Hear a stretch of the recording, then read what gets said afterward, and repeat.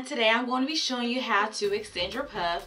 So this is what my puff looks like at, um, right now in my natural, I guess, journey or my hair life. Um, my hair is kind of at a plateau. It really um, doesn't want to grow or break off. I don't know. It's just like staying the same. So I gave myself a nice trim and I want to keep my hair covered, covered but I do want to extend my puff because right now um, you can see this is a very I guess small to medium puff and I wanted to get it a little bit bigger so what I did was I went to the beauty supply store and I bought a puff that was bigger than mine so that I could put my hair down and I don't know you will see Okay, so here are the supplies. You will need a puff. I got this one from my local beauty supply and um, this is what it looks like on the back and on the front it is called I guess Noor Every Time Premium Synthetic Hair and it claims that it has a human hair feel so I'm going to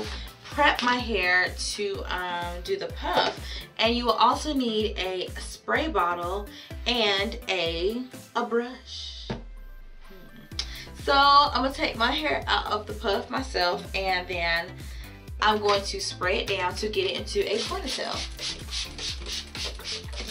Oh, you also need gel and two ponytail holders. So I'm going to take the gel and then slick down my edges just a little bit. Take it and brush it back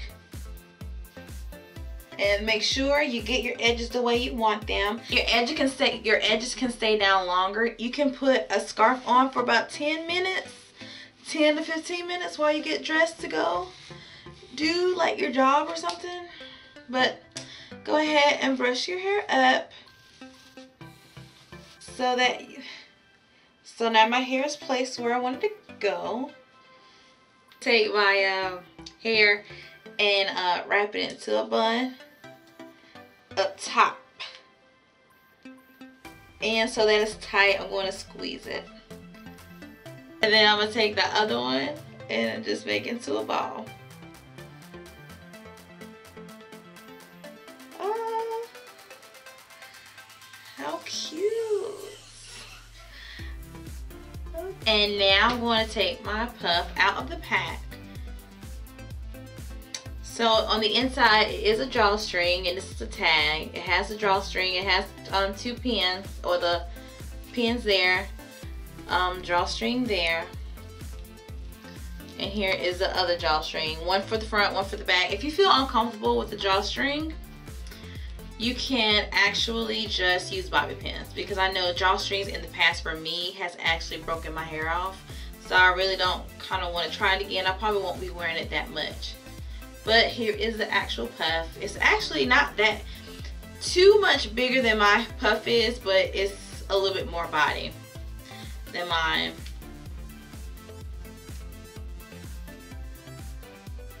just take it and just clip it in there and clip the hair again in the back like this and take the drawstring and pull. Oh, how natural looking. Take it now that the um, drawstring is attached, you want to play around with it a little bit. Try to get it more natural looking. And then just wrap the drawstring around. Take a bobby pin like this and pin. Alrighty, so I'm just playing with it a little bit. I do have um, some oil-free wig shine so that the the puff will be actually kind of shiny. So just spray it on there like that.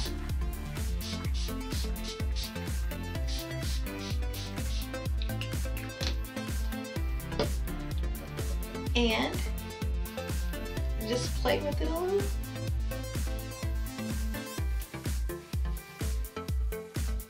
I'll play with it to my liking because, you know, it's just fresh and straight out the pack.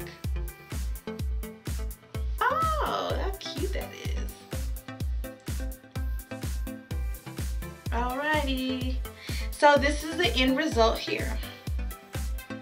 And don't forget that you can actually play with this and add accessories to it. Okay, so I'm gonna actually show you that here's an accessory and I'm gonna show you that the puff doesn't have to be just as plain. You can pair it with an accessory too.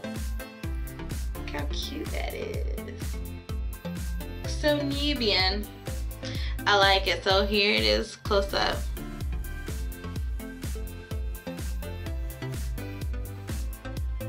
Everyone, thank you so much for watching my video. And um, if it's your first time watching, please subscribe.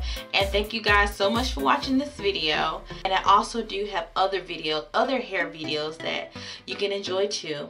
And everyone, please follow me on social media. The links will be down below. Everyone, thank you so much. Bye.